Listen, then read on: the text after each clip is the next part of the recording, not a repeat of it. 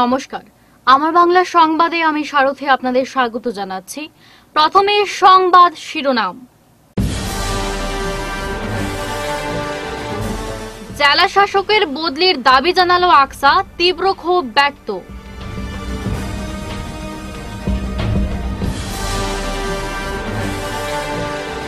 মহাসড়কে অবৈধ কর্মকাণ্ড বন্ধ করার দাবি, পুলিশের দৃষ্টি আকর্ষণ।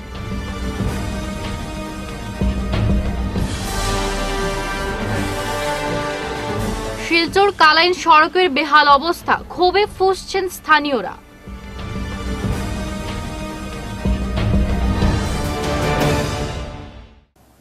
এবারে আমার বাংলা সংবাদ বিস্তারিত। নবাগত জেলাশাসকের শীঘ্র বদলির জোরালো দাবিতে সরব হলো আকসা।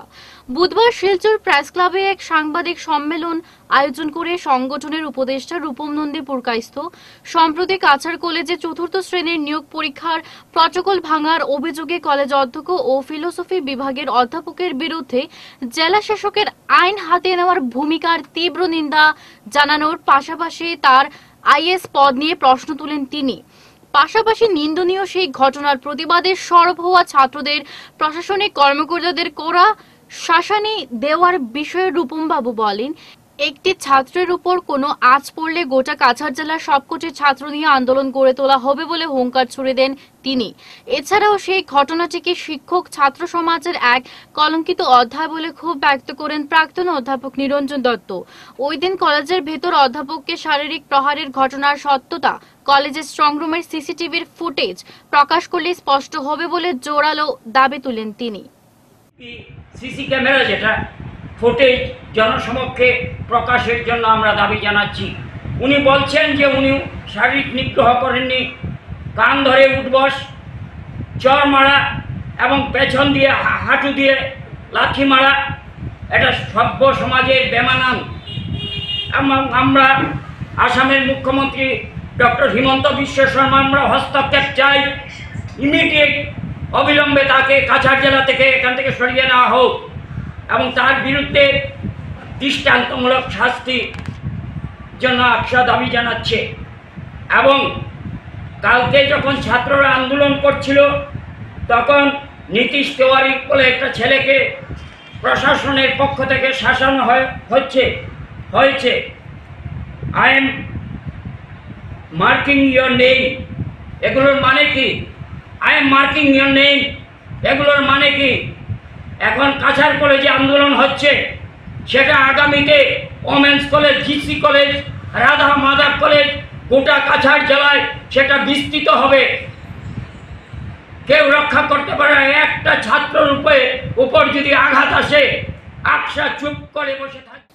উধারবন একশো সাঁত্রিশ নং জাতীয় সড়কটির দুই পাশে প্রত্যেক দিনে অবৈধভাবে চলছে মদ সহ বিভিন্ন ধরনের মাদক সেবনের হিরিক দিন কয়েক আগে সংশ্লিষ্ট মহাসড়কের উপর বাইকের স্ট্যান্ড সহ বিভিন্ন ধরনের নেশা সেবনের বিষয়ে সংবাদ মাধ্যমে খবর প্রচারিত হওয়ার দরুন উধারবন পুলিশ এ ব্যাপারে নড়েচড়ে বসলে কিছুদিনের জন্য মহাসড়কের উপর হওয়া অবৈধ কর্মকাণ্ডগুলো বন্ধ ছিল। কিন্তু বর্তমানে আবার তা অবাধে চলছে। যার দরুন সংশ্লিষ্ট মহাসড়কের পাশে থাকা ক্ষেতের জমিতে কাজ করতে যাওয়া কৃষকেরা তাদের কৃষিক্ষেতের জমিতে আসা যাওয়ার সময়ে প্রায়ই নেশাজাতীয় বোতলের ভাঙা কাচের টুকরোতে প্রায় তাদের পায়ে ক্ষত হয়ে থাকে। স্থানীয় জনগণ সহ এলাকার কৃষকদের অভিযোগ যে, এভাবে যদি মহাসড়কের মধ্যে অবৈধ কর্মকাণ্ড চলে এবং তাদের ক্ষত বিক্ষত হতে হয়, তবে ক্ষেতের কাজ বন্ধ করে ঘরে বসে থাকতে হবে।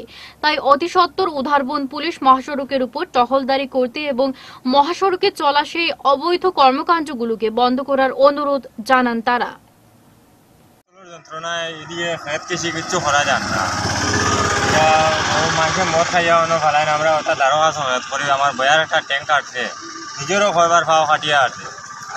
ওটা প্রশাসনের কাছে কো মানে বন করার লাগি না নাইলে তো ওখানে মানে করা যেত না। আমরা এটা জমিন ছাড়িয়ে ফেলাই বাগা লাগবে এই মতর বোতলের যন্ত্রণা মানে এটা খারা খায়? খানা খায় এটা তো নিজে দেখি না এটা তো পুলিশে দেখার কথা মানে প্রশাসনে দেখার কথা। ছেলে মেয়ে আয় প্রত্যেক রবিবারে আয় হয়েছে, কি? ও এইটা এনজয় করে এইটা তারা আইয়া মদ বোতল খায় পালায়। তো আপনারা প্রশাসনে কি চাইন? আমরা তো চাইছি যে জিনিসটা বন্ধ হইতো। আর ওগুলা সাফ হইতো। পরে আমরা রে গুটিয়া মানুষ যত নামতে পারে না তো হব মানুষ। আপনার কি চাই না বর্তমানে গভর্নমেন্টের কাছে? আমরা চাই আর কি মহারাস্তার কিনারে যদি বোতল উতল না ফালাইয়া এক জায়গার মাঝে জমা করে তার রাখে যায় ইয়া খাইবার জিনিস খাও। কিতা কিতা খায়? হ্যাঁ। কি খায় তারা? তো এক জায়গায় যদি কোনো জায়গায় জমা করিয়া বোতলটা খাইয়া ইয়ে রাখে তো দিত তাহলে ভালো হলো। ওই রাস্তার মাঝে ফালাইয়া নিয়ে গেল আমরা যাওয়ার রাস্তা সব বড়াই একবারে খাটিয়া কুটিয়া পাওয়া আমরা শিলচর কালাইন রোডের শিববাড়ি থেকে অসমিয়া বস্তি অবধি সড়কের বেহাল অবস্থায় প্রতিদিনই দুর্ভোগ পোহাতে হচ্ছে এলাকাবাসীদের। সড়ক সংস্কার না হওয়ার দরুন যানবাহন চলাচলও দুষ্কর হয়ে উঠেছে। স্থানে স্থানে বিশাল আকারের গর্তে পুকুরসম হয়ে উঠেছে গোটা সড়কটি।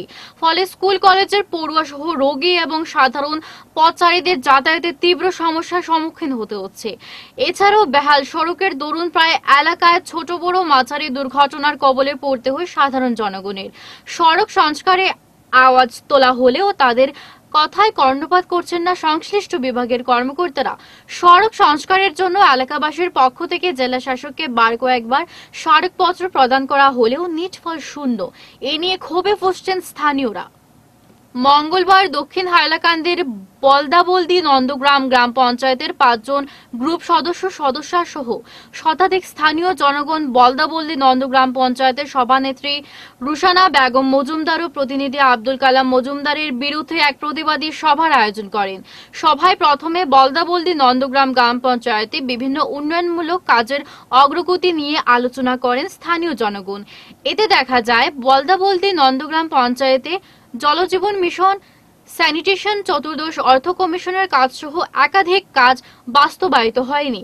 এ নিয়ে অল আসাম মাইনরিটি স্টুডেন্টস ইউনিয়নের হাইলাকান্দি জেলার সহসভাপতি জয়নাল উদ্দিন লস্কর জানান, জিপির সভানেত্রীর প্রতিনিধি আব্দুল কালাম মজুমদার নিজে একনায়কতন্ত্র চালিয়ে যাচ্ছেন। যার দরুন গ্রামের সরকারি উন্নয়নমূলক কাজ বাস্তবায়িত হচ্ছে না। আব্দুল কালাম মজুমদার জিপির সভানেত্রীর প্রতিনিধি। হওয়ার পর থেকে জিপির গ্রুপ সদস্যদেরকে না জানিয়ে নিজের ইচ্ছে মতো কাজের প্রকল্প অনুমোদন করছেন। একইভাবে জিপিতে সরকারের অন্যান্য বিভাগের উন্নয়নমূলক কাজে বাগড়া দিচ্ছেন আব্দুল। এছাড়াও সরকারি অন্যান্য কাজের জন্য আধিকারিকের কাছ থেকে কাজের কমিশন সংগ্রহ করছেন বলে জানান তিনি।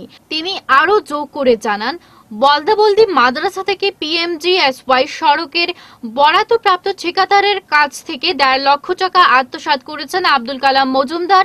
তা সহ সভাপতি জয়নালের কাছে প্রমাণ রয়েছে। এদিন এক প্রতিবাদী সভায় অভিযোগগুলি উত্থাপন করেন বলদাবলদি নন্দগ্রাম পঞ্চায়েতের পাঁচজন গ্রুপ সদস্য সহ শতাধিক জনগণ। গ্রুপ সদস্যদেরকে আড়ালে রেখে গ্রাম সভা না করে পঞ্চদশ অর্থ কমিশনের প্রকল্প অনুমোদন না দেওয়ার জন্য হাইলাকান্দি জেলার জেলাশাসক হিবারে নিসর্গ গৌতম ও সিইও জয়দীপ শুক্লার নিকট আবেদন জানান তারা। প্রতিবাদী সভায় অন্যান্যদের মধ্যে উপস্থিত ছিলেন জিপির সহসভাপতি আব্দুর রহমান বুরভুইয়া, গ্রুপ সদস্য শহীদ আহমেদ লস্কর সিরাজ উদ্দিন লস্কর, আব্দুনুর বুরভুইয়া, আনোয়ার হোসেন বুরভুইয়া প্রমুখ। আমাদের মেইন মেইন সমস্যাগুলো হলো নাম্বার ওয়ান ফোরটিন ফাইন্যান্সের অসম্পূর্ণ কাজ, অনেক কাজ অসম্পূর্ণ রয়েছে। এই কাজগুলা অতিসত্বর এই বাস্তবায়নের জন্য আমরা জেলাধিপতি তথা বিভাগীয় কর্তৃপক্ষের কাছে আমরা আবেদন জানাব। তারপরে আমাদের ফিফটিন ফাইন্যান্সের যে এই কাজগুলা স্কিম অলরেডি গিয়েছে, তা কোনো গ্রাম গ্রামসভা হয় নাই, বিনা গ্রামসভায় ওইগুলা গিয়েছে। এবং কীভাবে ওইগুলা বিএলসি পাস হলো আমরা অত্যন্ত দুঃখিত এবং আশ্চর্যের বিষয় সেটা। কি পাওয়ারে এবং কার অনুমতি কার যুগসাজে এই কাজগুলা হলো, এবং পাঁচজন মেম্বারকে গ্রুপ সদস্যকে আড়ালে রেখে এই কাজগুলো হলো, কোনো গ্রামসভা হয় নাই, সেটার বুড়ি বুড়ি প্রমাণ আছে। তাই আমরা অত্যন্ত দুঃখিত। আমরা এই ব্যাপারে জেলাধিপতি তথা বিভাগীয় কর্তৃপক্ষের কাছে আমরা আবেদন করব। তারপরে আমাদের তিন নম্বর আরেকটা কাজ হলো, জল জীবন মিশন। জল জীবন মিশন সম্পর্কে আমাদের জিপিতে জলের অনেক সমস্যা আছে। নয় দশটা পিএইচি টাকার পরেও আমাদের একটা পিএইচি দুইটা অলরেডি কাজ সম্পূর্ণ হয়ে হ্যান্ডওভার করা হয়েছে জিপির তরফে। কিন্তু আজ অবধি কোনো পিএইচিতে জল দেওয়া হয় নাই, কোনো মানুষ জল পাচ্ছেন না, বিভিন্ন মানুষ জলের জন্য হাহাকার। এবং দুরবস্থা। আগামী বৃহস্পতিবার অর্থাৎ পঁচিশে আগস্ট সকাল দশটা থেকে দুপুর দুটা পর্যন্ত তারাপুর স্থিত কালীবাড়ি রোজের কালী মন্দিরে বুস্টার ডোজ প্রদান করা হবে। পরে এ ব্যাপারে সংবাদ মাধ্যমে বিস্তারিত তুলে ধরেন তারাপুর ব্যবসায়ী সমিতির সাধারণ সম্পাদক শান্তনু রায় এবং কাকুলি দেব সহ অন্যান্যরা বৃহস্পতিবার আমাদের মন্দিরে কালী মন্দিরে আমরা একটা বুস্টার ডোজের ক্যাম্প করা হইতেছে করোনার করোনার জন্য। আর এটা আমাদের সম্ভব করে দিয়েছে আমাদের এমএলএ দীপায়ন চক্রবর্তী। তো আমাদের এখানের, আমাদের গল্লির যত কালীবাড়ি গল্লির যারা আছে, যারা বুস্টার ডোজ নেওয়া হয়নি আমি সবাইকে বলছি যে সবাই যেন এসে বুস্টার ডোজটা নিয়ে নেয়। আর আমাদের আশেপাশে যারা বুস্টার ডোজ নেয়নি, আমাদের এখানে এসে নিতে পারবে সেটা সম্ভব করে দিয়েছে আমাদের এখানের এমএলএ দীপায়ন চক্রবর্তী। আমি অশেষ ধন্যবাদ জানাচ্ছি আমাদের দীপায়ন চক্রবর্তীকে আমাদের এই গল্লির জন্য এতটুকু চিন্তা ভাবনার জন্য। আমরা করোনা সম্বন্ধে সবাই অবগত। করোনা নিয়ে নতুন করে বলার কিছু নেই। করোনা কীভাবে আমাদের উপরে প্রকোপ উঠিয়েছিল সেটা জানি। তার জন্য এবার আমরা আমাদের সরকারের তরফ থেকে জায়গায় জায়গায় বুস্টার ডোজ বুস্টার ক্যাম্পিং এবং ভ্যাকসিনেশনের ক্যাম্পিং করে যাচ্ছেন। তার সঙ্গে এইবার আমাদের তারাপুরের কালীবাড়ি রোডে কালী মন্দিরে আগামীকাল বৃহস্পতিবার সকাল দশটা থেকে দুপুর দুটার মধ্যে এখানে বুস্টার ডোজ দেওয়া হবে। যারা যারা বুস্টার ডোজ নেননি, ওরা তারা কালকে যেন চলে আসেন, এসে এখানে দশটা থেকে দুটার মধ্যে বুস্টার ডোজটা নিয়ে নেন। নিয়ে নিজেকে সুরক্ষিত রাখুন এবং সবাইকে সুরক্ষিত রাখুন। কাছাড় কলেজ কাণ্ডে এবার মুখ খুলছে বরাকভ্যালি পাচনি পরিষদ। বুধবার শিলচর আম্বেদকর ভবনে এক জরুরি সভা শেষে সাংবাদিক সম্মেলন থেকে পরিষদের সভাপতি অমলেন্দু দাস বলেন, জেলা শাসক রোহন কুমার ঝাড় হাতে কাছাড় কলেজের অধ্যাপক স্বদেশ রঞ্জন দাস নিগৃহীত হওয়ার তথ্য পত্র পত্রিকার মাধ্যমে সামনে এসেছে। একজন শিক্ষাগুরুকে এহেন অপদস্থ করা কোনোভাবে মেনে নিতে পারবেন না তারা। পাটনি পরিষদ জোরালো ভাষায় এর প্রতিবাদ জানায়। এদিন সাংবাদিক সম্মেলনে ছিলেন পরিষদের সম্পাদক মহিতোষ দাস, সঞ্জয় পুরকাইস্থ শীতাংশু শেখর দাস, দীপক দাস, অনুপ কুমার দাস, সুধাংশু কুমার দাস। শারীরিক হেনস্থা করতে পারেন, সে প্রশ্ন জনগণের জনমানসে আছে। আর জনমানসে আছি জনগণের প্রশ্নের সে জবাব আমাদেরও দিতে হয় এবং দিতে হবে, কারণ সমাজ বহির্ভূতরে আমরা সমাজের অঙ্গ। বিভিন্ন ক্ষেত্রে বিভিন্ন জন দায়িত্ব নিয়ে কাজ করেন এই নাগরিক সমাজে। কিন্তু সমাজ সংবেদনশীল বিষয় যখন আসে, সেখানে প্রত্যেকজন ব্যক্তির চিন্তা করা উচিত। সমাজকে সচেতন হওয়া উচিত। কারণ এভাবে যদি কোনো ব্যক্তি নিজের দায়িত্ব নিয়ে আইনকে হাতে নেয়, তাহলে আইন থাকার প্রয়োজনটা কি? আইন তৈরি করে বিধানসভা সরকারের মাধ্যমে প্রশাসন প্রণয়ন করে, যে আইন প্রণয়ন করবে, সে আইন যদি নিজের হাতে নেয়, তাহলে আজকের দিনে এই গোটা কাছাড় তথা বরাক উপত্যকায় প্রশাসনের উপরে এক সন্দেহর চোখে দেখা হবে। প্রশাসন এভাবে যদি করে তাহলে সাধারণ মানুষের কি হবে? সে প্রশ্ন জনমানুষে আছে। সেটার জন্য আমরা বরাকবেলি পাটনি পরিষদ, আমরা ভদ্র সমাজের মধ্যে যে কথা চলছে, সুশীল সমাজের মধ্যে যে কথা চলছে, তার পরিপন্থীতে আমরা এই কার্যকে দীক্ষার জানাই পঞ্চায়েত সভাপতি সচিব ও জিআরএস এর বিরুদ্ধে প্রধানমন্ত্রী আবাস যোজনার ঘোর প্রদানের জন্য অর্থ দাবির অভিযোগ এনে থানায় মামলা সহ সামাজিক মাধ্যমে অপ্রচারের প্রতিবাদে বুধবার পালংঘাট জিপিতে এক নাগরিক সভা অনুষ্ঠিত হয়। জিপি সভাপতি শশাঙ্ক শীলের পৌরোহিত্যে জিপি অফিস মিটিং হলে অনুষ্ঠিত নাগরিক সভায় পালংঘাট জিপির নাগরিক তথা বিজেপির পালংঘাট মণ্ডল সাধারণ সম্পাদক হিমাদ্রিদি বলেন, এক দুষ্টচক্র ভুয়ো মামলা দায়ের করে ও সামাজিক মাধ্যমে অপ্রচার চালিয়ে জিপির সুনাম নষ্ট করার প্রচেষ্টা চালাচ্ছে। এদিকে জিআরএস কৃষ্ণধন সিংহ বলেন, যে ব্যক্তি থানায় মামলা দায়ের করেছেন, তার মায়ের নামে পিএমএও ওয়াই গৃহের রেজিস্ট্রেশন ইতিমধ্যে সম্পন্ন করা হয়েছে। তিনি অর্থ দাবির প্রমাণের চ্যালেঞ্জ ছুড়ে দেন। এছাড়াও এদিনের নাগরিক সভাপতি জিপির পিএম ওয়াই হিতাধিকারী বাদল দাস, বিজয়া চক্রবর্তী, আব্দুল গফুর, বীরেন্দ্র রায়, ময়না মিয়া বড়ভূইয়া প্রমুখরা অর্থ দাবির বিষয়টি উদ্দেশ্য প্রণোদিত বলে উল্লেখ করে, বলেন, তাদের কাছে জিপি সভাপতি বা জিপির কোনো কর্মী অর্থ দাবি করেননি। তারা এও বলেন, জিপির উন্নয়নে বাধা প্রদানের জন্য চক্রটি অপ্রচার চালাচ্ছে।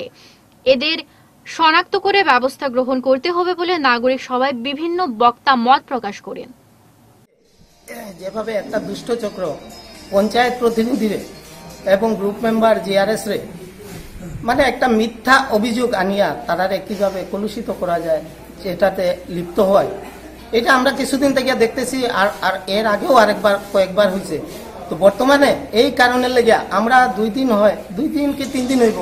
আমি কয়েকটা গ্রুপ ঘুরছি। আমি ভারতীয় জনতা পার্টির বালুরঘাট মণ্ডলের জেনারেল সেক্রেটারি হিসাবে, প্লাস আমাদের যে পূর্বধলাই জেলা পরিষদ সদস্য স্বপন কুমার দাস নিয়া আমরা প্রত্যেকটা ঘর আমরা ইয়ে করছি মানে ভিজিট করছি এবং প্রত্যেককে জিজ্ঞাইছি যে আপনারা কোনো লেনদেন করছেন হয়তো আমার দাদার বাসা তো গেছি, দাদারও জিজ্ঞাইছি করছেন যে, না, আমরা লোকে এই ধরনের কোনো লেনদেন হয়েছে না। তো একটা দুষ্ট চক্র এখানে লাগিয়ে আছে। যে দুষ্ট চক্রটারে আজকে আমি এই যে নাগরিক সভার মধ্যে আমি দেখলাম, যে প্রতিজন হিতাধিকারী এক পক্ষ হইয়া কইতেছে যে, না, পঞ্চায়েতের এখানে বা জিআরএস এর কোনো এখানে কোনো ভুল নাই বা তারা কোনো অর্থ ইয়ে নিতেও তারা ইয়ে করছে না বা অর্থ দাবিও করছে না। তো যাই হোক, আমার মনে হয় এই নাগরিক সভার ভিতরে যেভাবে ওরা, আপনারা, আপনি তো সাংবাদিক মহোদয়, আপনি আসেন, আপনি এইগুলারে, এই স্বার্থন্বেষী এই লোকগুলারে চিহ্নিত করবার লাগে আমি এই সামাজিক এবং আমরা আলমগার জিপির জনসাধারণের কাছে মে ও জুনের ভয়াবহ বন্যায় নিঃস্বার্থে মানুষের সেবা কার্যে ঝাঁপিয়ে পড়া সংস্থাগুলোকে এক মঞ্চে আনুষ্ঠানিকভাবে সংবর্ধনা জানানোর উদ্যোগ নিল খোঁজ। বুধবার এক সাংবাদিক সম্মেলন থেকে খোঁজের সভাপতি ডক্টর মাসুম সংস্থা সেই উদ্যোগের বিস্তারিত তুলে ধরেন জনসমক্ষে। তিনি বলেন, কঠিন পরিস্থিতিতে প্রাণের ঝুঁকি নিয়ে সাম্প্রতিক বন্যায় বন্যাক্রান্তদের সাহায্যের হাত বাড়িয়ে দেওয়া বিভিন্ন সংস্থা সংগঠনগুলোর অবদানের প্রেক্ষিতে তাদের সামাজিক স্বীকৃতি দিতে সংস্থার পক্ষ থেকে এই উদ্যোগটি নেওয়া হয়। দুর্দিনে সামাজিক সেবা কাজে সংস্থাগুলোর উল্লেখযোগ্য অবদান আগামী দিনের জন্য উজ্জ্বল করে রাখতে এই প্রয়াস খোঁজের বলে জানান তিনি। এদের মধ্যে আঠাশটি সংস্থাকে আগামী আঠাশে আগস্ট সকাল এগারোটায় শহরের সার্কিট হাউস রোড স্থিত আশীর্বাদ বিবাহ ভবনে এক অনুষ্ঠানের মাধ্যমে সংবর্ধনা প্রদান করা হবে। এছাড়াও এই মহৎ উদ্যোগের সহায়তায় এগিয়ে আসা কাছাড় ক্যান্সার হাসপাতালের পক্ষে কল্যাণ কুমার চক্রবর্তী খোঁজের ব্যতিক্রম উদ্যোগ ও বিভিন্ন সেবামূলক কাজের জন্য সাধুবাদ জানান। এই দিনের সাংবাদিক সম্মেলনে অন্যান্যদের মধ্যে উপস্থিত ছিলেন খোঁজের সচিব সজল লস্কর, কল্যাণ কুমার চক্রবর্তী, কামাল লস্কর, দীপানিতা চক্রবর্তী, তাহেরা লস্কর প্রমুখ। হ্যাঁ, তার মধ্যে হয়ে যাক সবার ভালো আছে এবং আঠাশ তারিখেও নিজেও উপস্থিত থাকবে। দিদি উনিশশো আশি ইংরেজিতে প্রথম জাতীয় পুরস্কার পায় সর্বভারতীয় ক্ষেত্রে শিশু সাহিত্যের উপর রচনা লিখে। উনিশশো আশি চৌরাশি ইংরেজিতে আসাম সরকার তাকে পুরস্কৃত করে। এবং উনিশশো অষ্টআশি ইংরেজিতে রাষ্ট্রপতি পদক প্রাপ্ত। তিনি অবিবাহিত। আমরা তিন বোন, এক ভাই, আমরা সবাই শিক্ষকতার সঙ্গে জড়িত। আমার বাবা শিক্ষক ছিলেন সঙ্গে সাহিত্যিকও ছিলেন। যার দরুন তিনি সাহিত্যশ্রী এবং বিদ্যাবিজ্ঞান উপাধি প্রাপ্ত। নিজের আর সম্বন্ধে কি বলব? শিলচর শহরে হয়েছিল। সেই বন্যায় বিভিন্ন ব্যক্তি, বিভিন্ন সংস্থা, বিভিন্ন সময় বিভিন্নভাবে কাজ করেছেন। সমাজের জন্য কাজ করেছেন, দুস্থদের জন্য কাজ করেছেন বন্যা বন্যাবাসীদের জন্য কাজ করেছেন। আমরা সেই সব বন্যা, যে সংস্থা বা ব্যক্তি যারা নিজের প্রাণের ঝুঁকি নিয়েও কাজ করেছেন, তাদের তাদের মধ্যে কিছু সংস্থাকে, কিছু ব্যক্তিকে আমরা সম্মানিত করার প্রয়াস নিয়েছি। সেই অনুষ্ঠানটি আগামী আঠাইশ আগস্ট আশীর্বাদ বিবাহ ভবনে অনুষ্ঠিত। সকাল এগারোটার সময় অনুষ্ঠিত রাশিয়ান ডিলারে অনিয়মের অভিযোগে সাসপেন্ড হলেন এক এজেন্ট কাছাড় জেলার food, civil supplies and consumer অ্যাফেয়ার্সের inspector Rajkamal Sharma Narsingpur সমবায় সমিতির অন্তর্গত রেশন জেলার সায়ন চৌধুরীর বিরুদ্ধে রেশন চাল বন্টনে অনিয়মের তদন্তের রিপোর্ট জমা দেন বিভাগীয় ঊর্ধ্বতন কর্তৃপক্ষকে। সেই রিপোর্টের ভিত্তিতে বিভাগীয় সুপারিনটেন্ডেন্ট এক আদেশে রেশন ডিলারকে সাসপেন্ড করেন। বুধবার সাসপেন্ড হওয়া ডিলার সায়ন সাংবাদিকদের সামনে এ নিয়ে প্রতিক্রিয়া ব্যক্ত করে গিয়ে জানান, তাকে উদ্দেশ্য প্রণোদিতভাবে সাসপেন্ড করার ব্যবস্থা করেছেন ইন্সপেক্টর রাজকমল শর্মা। সম্পূর্ণ মিথ্যার আশ্রয় নিয়ে তার বিরুদ্ধে চালচুরির অভিযোগ তোলা হয়েছে বলে জানান তিনি। সোশ্যাল মিডিয়ায় একটি পোর্টাল কাজ করার ফলে তার বিরুদ্ধে মিথ্যা অভিযোগ তোলা হয়েছে। তিনি এও বলেন, ইউটিউব ও ফেসবুকে নিউজ পোর্টালে কাজ না করতে বারণ করেছিলেন ইন্সপেক্টর। তার বারণ অন্যথা করায় তার বিরুদ্ধে চাল চুরির মতো মিথ্যা অভিযোগ তোলা হয়েছে বলে জানান সায়ন। এ ব্যাপারে তিনি জেলা শাসকের দ্বারস্থ হয়ে ন্যায় বিচারের দাবি জানাবেন বলে জানান ডিলার সায়ন। মূল কথা যেটা হচ্ছে, আমাকে সাব ইন্সপেক্টর স্যার বলেছেন যে, তুমি এখানে কেন? আমি বলছি, স্যার, এখানে তো এই খবর পেয়েছি, চাল আটক করা হয়েছে, তাই আমি এসেছি। তো উনি বলছেন যে, না, তুমি এখানে আসতে পারোনি, কারণ যেহেতু তুমি একজন এজেন্ট তাহলে তুমি এখানে এসে সাংবাদিকতা করতে পারোনি। আমি বলি, স্যার, এটা তো আমার ফান্ডামেন্টাল রাইট আর মিডিয়া হচ্ছে সংবিধানের চতুর্থ স্তম্ভ the fourth pillar of the constitution তো স্যার আমাকে বলেছেন, না না, তুমি এটা করতে পারোনি। এটা করা মানে তোমার পক্ষে হবে না। তুমি একজন এজেন্ট আর তুমি এজেন্ট হয়ে সাংবাদিকতা করতে পারোনি এবং তিনি আমাকে এই সাসপেনশন লেটারটি দিয়ে দিয়েছেন। তো আমি এটা নিয়ে, আমি ডিসি মহোদয়ের দৃষ্টি আকর্ষণ করছি। যে এই বিষয়টিকে আপনি খাতিয়ে দেখুন এবং আমার যেগুলা রেকর্ড আছে, সব রেকর্ড চেক করে দেখুন যে আমি এত বছর ধরে যে রেশন দোকান চালিয়ে আসছি, যদি আমার কোনো ত্রুটি থাকে এর মধ্যে, তাহলে আমি নিশ্চয় মাথা পেতে মেনে নিব। কিন্তু এভাবে, অন্যায়ভাবে যদি আমাকে যদি শুধু সাংবাদিকতা করার জন্য যদি আমাকে সাসপেন্ড করা হয় তাহলে এটা কিন্তু অন্যায়, আর এটা আমি জনগণের কাছে এর বিচার চাচ্ছি এবং আমি অতি শীঘ্রই ডিসি মহোদয়ের শরণাপন্ন হচ্ছি। কাছাড় জেলার শ্রীকুনা মোহনপুরে প্রায় এগারো কিলোমিটার গ্রামীণ সড়ক চার বছর পর সিসি ব্লক সড়ক নির্মাণের অনুমোদন লাভ করলেও এক বছরের বেশি সময় ধরে বরাদ্দপ্রাপ্ত ঠিকাদাররা ত্রিশ শতাংশ কাজ শেষ করতে পারেননি। এলাকাটি কাছাড় জেলা প্রশাসনের অংশ হলেও হাইলাকান্দি জেলার আলগাপুর বিধানসভা কেন্দ্রের অধীনস্থ এবং করিমগঞ্জ প্রথম লোকসভা কেন্দ্রের অন্তর্গত। এটি কাছাড় জেলার সবচেয়ে বেশি তপশিল জাতিভুক্ত এলাকা বটে। জনপ্রতিনিধি ও সরকারের ভুল সিদ্ধান্তের দরুন এলাকাটি কাছাড়, করিমগঞ্জ, হাইলাকান্দি এই তিন জেলার সঙ্গে যুক্ত রয়েছে বলে স্থানীয়দের অভিযোগ। তাই উন্নয়নের নামে হরির লুট সহ দেদার দুর্নীতির তালিকায় শীর্ষে রয়েছে এলাকাটি। এদিকে এলাকাটির দশ কিলোমিটার গ্রামীণ সড়ক নির্মাণে দশ কোটি টাকা মঞ্জুর হলেও কাজের কাজ কিছু হয়নি। স্থানীয়দের অভিযোগ মতে কালবাট ও মাস্টার ড্রেনেজ ছাড়াই দশ কোটি টাকার গ্রামীণ রাস্তা নির্মাণ চলছে। এছাড়াও নিম্নমানের সিসি ব্লক ব্যবহার করে এলাকার সড়ক নির্মাণ করা হচ্ছে বলেও অভিযোগে জানান স্থানীয়রা।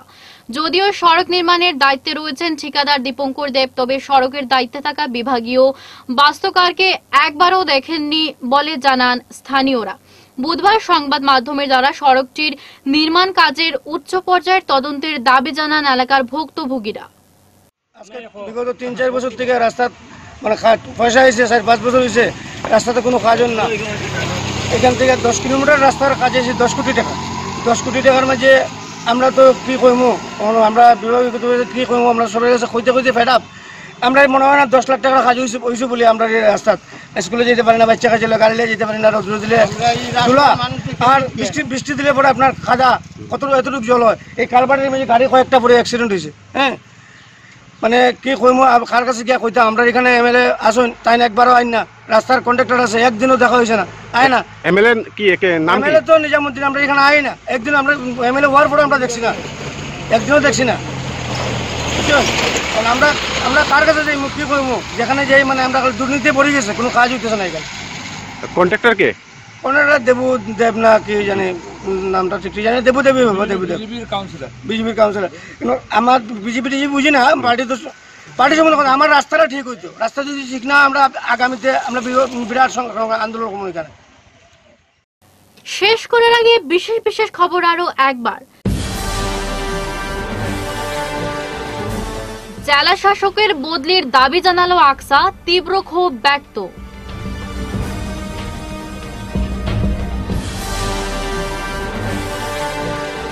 মহাসড়কে অবৈধ কর্মকাণ্ড বন্ধ করার দাবি, পুলিশের দৃষ্টি আকর্ষণ।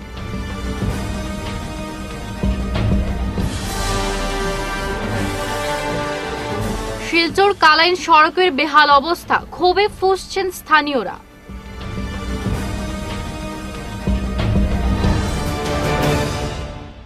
এখনকার মতো আমার বাংলা সংবাদ এ পর্যন্তই, নমস্কার।